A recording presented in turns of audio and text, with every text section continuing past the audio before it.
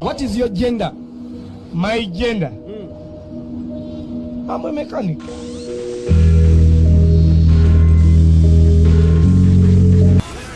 Not my son, you bastard! Team Fortress 2. This game just refuses to die, refuses to stay down. It's like that one super tasty McDonald's french fry that you drop under your car seat, and then you find it like seven years later, and it looks the exact same. You're as beautiful as the day I lost you. Bro, you just played me yesterday. It seems as if Valve finally gave some food to the single Team Fortress 2 developer they have locked in a pit, granting them the energy to actually work on the game. Thus, we have finally got it, gamers. We have finally got the highly anticipated TF2 sale update. I don't know what is so special about the seal. Silly. Honestly, Valve could have just added this single thing, and TF2 fans still would have been eaten good, alright? Oh my god, they added a seal cam. Apparently I'm not the only one that feels this way either. As you may have heard, Team Fortress 2 broke its personal concurrent players record, reaching a 253,000 player peak. Holy shit. Valve, please. The people crave more Team Fortress. I'm on my knees. However, as cool as this update is, it really just boils down to community content, but that's not necessarily a bad thing. I feel like there's a stigma against community content being used by developers, but honestly, sometimes it can be more quality than the actual dev stuff. That guy in his mom's basement really got more passion and talent than some AAA companies. Just look at Halo for example. Some of that game's best content is community content. Forge custom games probably make up more memories than actual multiplayer for some people. The community content in Team Fortress 2 is just steamy. Valve even added the man himself as a fully realized playable mercenary. Everybody said done do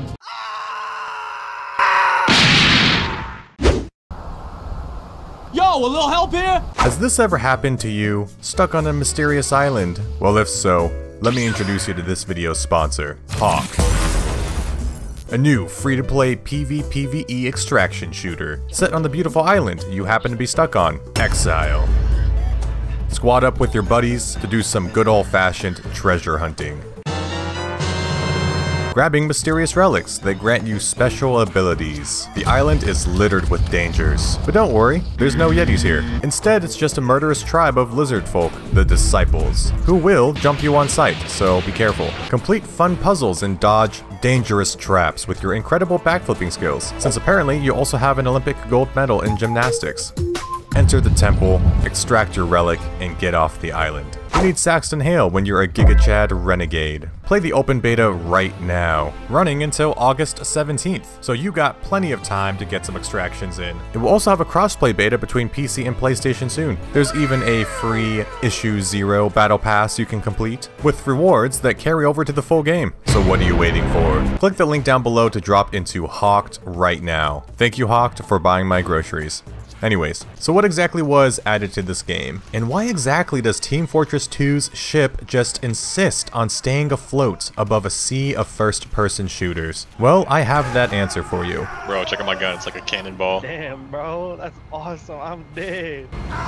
But, let's talk about the content first, shall we? Less building, more fighting! I think people really underestimate the value of maps in games. It can add tons of life into a game, even if it doesn't change any mechanics. Simply having new places to run around and fight in can add hours upon hours of new gameplay experiences, and also hours upon hours of getting dicked on. And, well, this update added 14 God damn. Well, Kelski, it doesn't count because the community made the map. I don't care. Quality is quality, and these maps are pretty fucking quality. If someone was like, hey, did you know Valve made 14 new maps for Team Fortress 2? Well, I'd probably laugh in their face. But then, I would second guess myself, because these look like dev-made maps. So, big ol' props to the people who made these. Now, 14 is a lot of maps. There's no way I could cover them all in this one video, is what I would say if I was a pussy. Don't underestimate my power. I'll describe every map in a few sentences each, starting with these ones first, because these four are special maps. Cashworks. Well, I sure hope it does. Starting off strong here, this map just plays so incredibly well with payload. I think I'm starting to get the hang of Sniper a little bit now. oh, yeah, yeah, I think so. Especially around the bridge area. Oh, nice little flank route right here. What's up, guys? Nice. Not so nice. Oh, this guy looks cool. Do a nice rocket jump here. It's perfect for it. okay, never mind. It's a very enjoyable map, and choke points like this are both fun to defend and attack. Ba -da -da -da. That never gets old, dude. It also has a very cool ending animation once you escort the full payload. I gotta do it, man.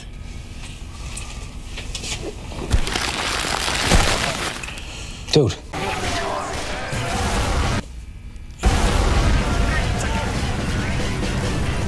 Damn, look at all this gold, dude. I'm retiring early. Phoenix. Totally unrealistic, as the mercenaries aren't immediately dying from heatstroke the moment they step outside, like the real Phoenix. My soldiers rage. My soldiers fight. My soldiers also die. Soldiers are dying pretty fast. My soldiers have a heart attack and high cholesterol. The map, however, is very well designed with tons of space for sniping and a beautiful canyon aesthetic. I think I can consider this one one of my new favorites. now I know it seems like I'm using fire right now. But I'm actually just blowing the hot air back at them. Venice. It honestly kind of reminds me of that one Modern Warfare 3 map. I think it's like called Resistance or something. It's kind of odd seeing this like semi-realistic setting in a game with characters that look like this. The map is pretty fun though, providing a more close quarters vibe with tons of little routes for spy rats to travel. It'd be like that. Oh, man. I was spectating. Oh, my him. cloak's about to run out, dude. me. Oh, hey. no, no, no, no, no, no. I'm friendly. I'm friendly. Oh my god, this is the stupidest fight ever. No, we can't kill each other. Oh, fuck. First try. Hardwood.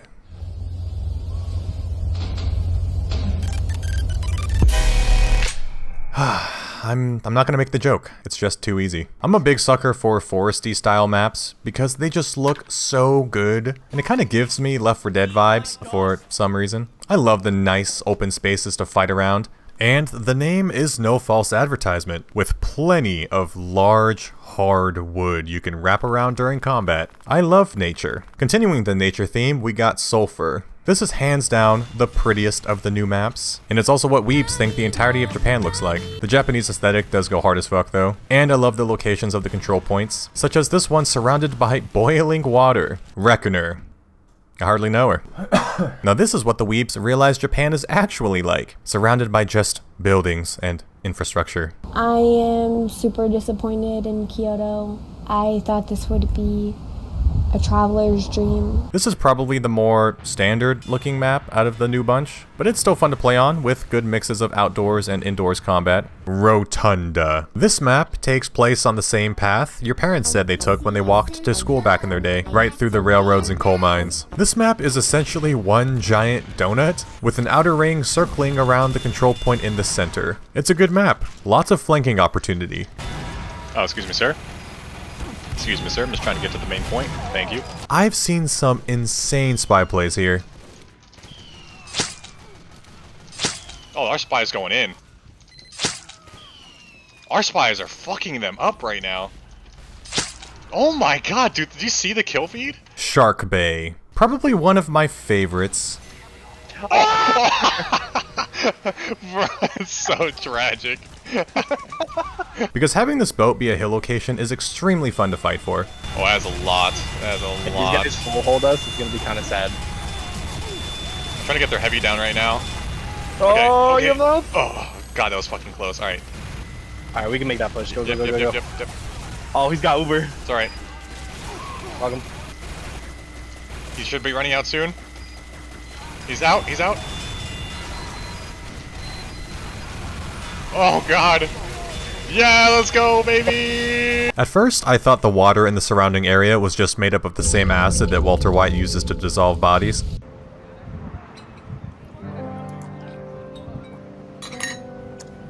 Soup. But then I realized it's the sharks that just turn your body into ground beef the moment you touch their territory. Pelican Peak. Honestly, I did not see much of this map, because for some reason, this map attracts bots like flies to shit. Who's ready to play a video game? I love video games.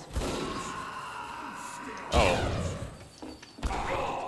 I mean, I don't think it's anything crazy anyways, but it's not terrible. me and this pyro have just been air blasting back our shots because we can't play because of the stupid bots.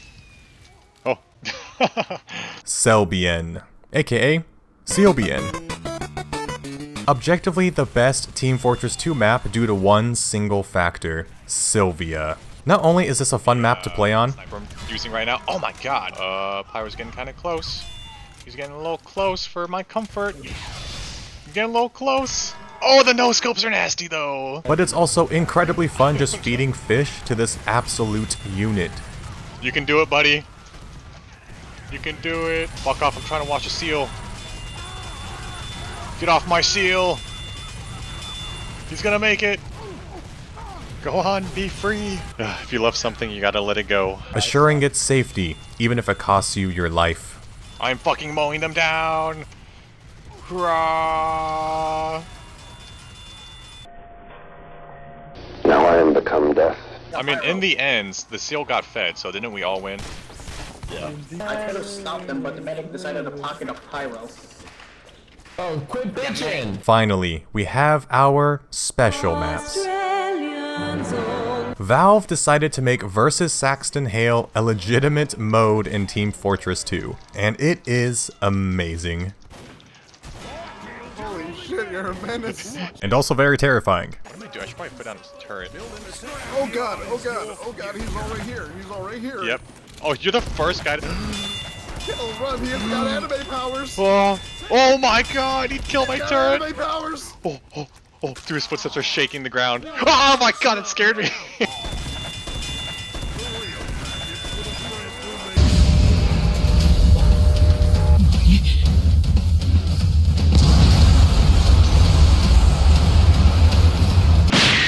oh my god, went straight for me. Saxton now has refined special abilities, such as a charged up Haymaker Punch,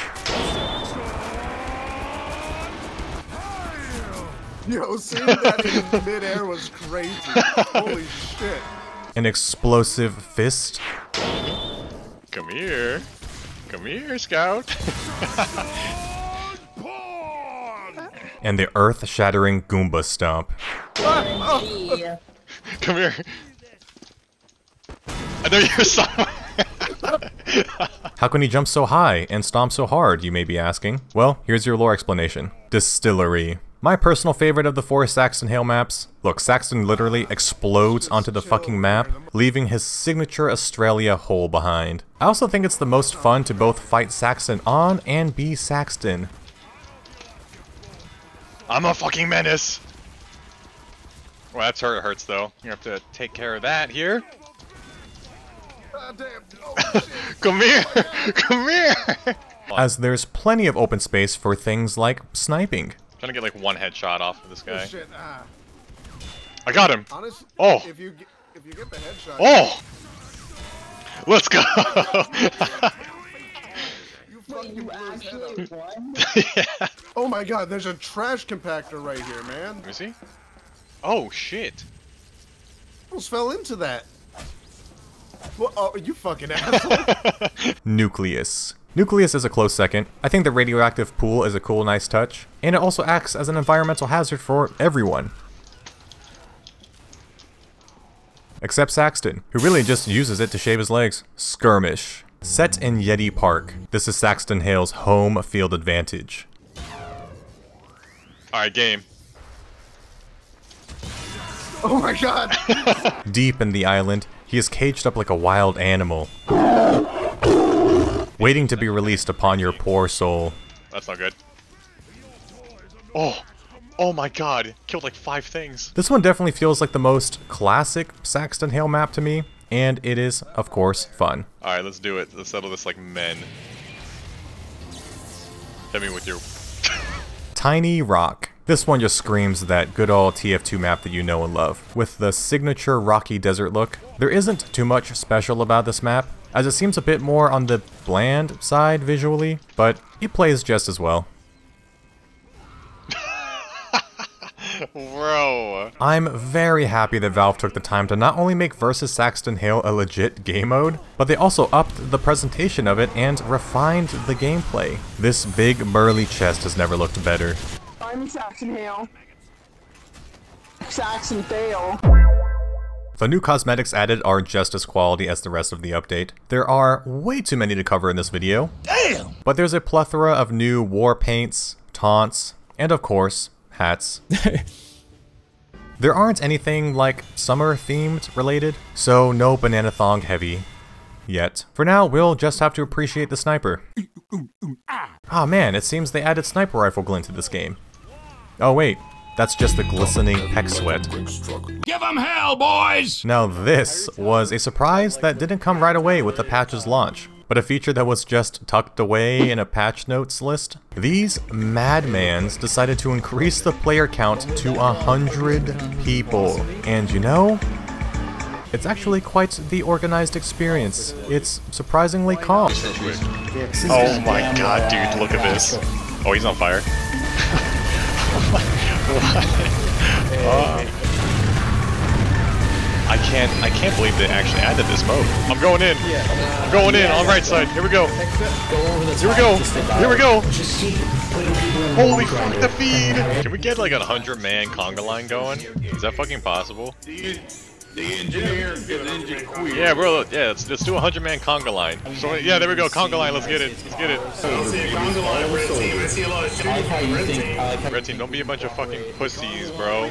Put away the sentries. We're making our way there. We're making our way there. Yeah, we're coming. We're coming. We're come on. conga line comes. We're making it. We're making it, dude. No! There we go. They got a conga line. Boy, shut up. Fuck you, engineer. Oh man. It's always that one fucking guy. You don't want to be like this. This is disgusting. Valve, this update is fucking awesome. Although, super unstable, obviously. Huh?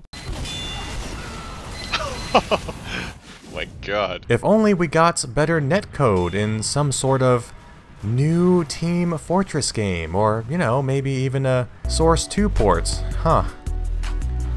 Huh. I think the summer update just further cements this game as a timeless masterpiece. The gameplay, in my opinion, has a formula that just still works to this day. When I first hopped back into Team Fortress 2 after taking a little break, I'll be honest, I was getting spanked up. Okay. Bro. Oh my god. Okay. and having a bad time. But I can't really recall a point where I was like, alright, fuck this, this game is bad. No. Instead, I continued to play, because I knew in my brain I wasn't dying to some cheap, overpowered ability. The other person just knew how to play their character, and they're also maybe a neckbeard. Look, what I'm trying to say is, every minute I spend playing this game, it just makes me want to get better at it, to learn the mechanics more. It is a really fun game to just mess around in, yeah. Give me a high five. Yeah, high five. Oh. Yeah, oh. yeah. no! But it is also insanely satisfying to pull off something very cool, or go on a massive kill streak, Oh man, that was dirty. because you earn that moment. Unless you got a medic by you. Oh, oh my god, bro. Oh my god. This guy just fucking Ubered me. I just went off. The longer times to kill prevent people from just using one mag to spray down like four dudes because you got the reach around on them. TF2's gameplay loop is just so incredibly solid. Cool. A foundation made of fucking bedrock. I bet. I got this. I got this. Easy. Easy. One, two, three. Easy. Yes. Hell yeah, brother. Gameplay. Why the fuck? Why would you play Overwatch? Let's fucking go. And all these maps do are just let it shine in new ways, community made or not. With all that said, Valve, please for the love of God, the world craves a Team Fortress 3 on the Source 2 engine. You don't even have to change too much. Just do a Counter-Strike 2 and give the game some nice quality of life improvements and make it look prettier. Or something. That's it from me. Team Fortress community. Keep being yourself and keep supporting this game. Happy fortressing. Peace. Also, fuck these bots, dude. If you make a bot for this game, I hope you're stuck in a public restroom with no toilet paper. You dick.